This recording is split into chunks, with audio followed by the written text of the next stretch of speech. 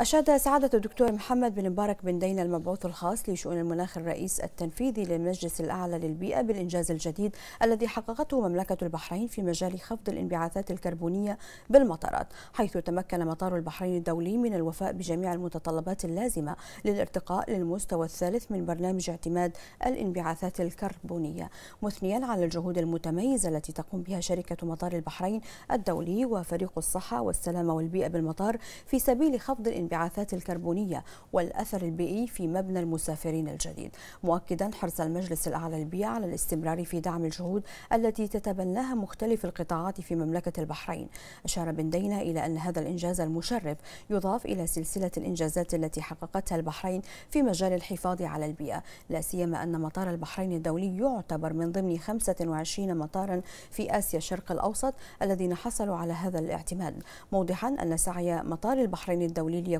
منشأة حيادية الكربون وحصوله على شهادة الريادة الذهبية في مجال التصميم المراعي للبيئة والطاقة يعكس الاهتمام الذي توليه البحرين في ملف التنمية المستدامة.